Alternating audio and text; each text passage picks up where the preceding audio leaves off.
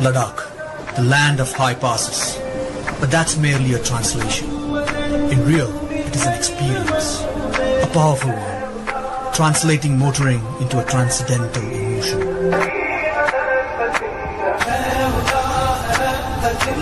emotion.